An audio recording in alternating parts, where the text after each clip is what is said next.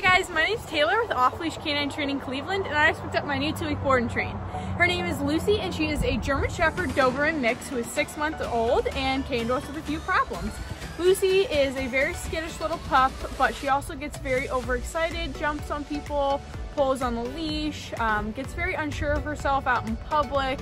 Um, she's a little bit under socialized too, so I'm gonna go ahead and take her out right now and see what she knows on day one. Lucy and I start out by seeing what she knows on a leash. As you can see, she's walking with no structure and is kind of all over the place, zigzagging back and forth, pulling me, um, and then just really has no sense of the heel command. Next, Lucy and I go to see what she knows as far as come, sit, and down goes. As you can see right off the bat, she's not really paying attention and it is hard to get it from her. She's sniffing. I end up having to pull her in with a leash and then go for a sit command. She ends up sitting very quick and then tries to give me paw and then ends up jumping on me.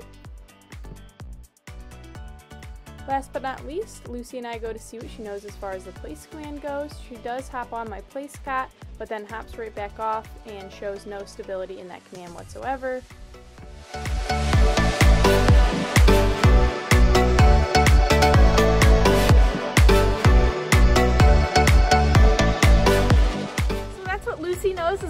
Now. Check out her after videos to see her progress after just a short 14 days. Thanks!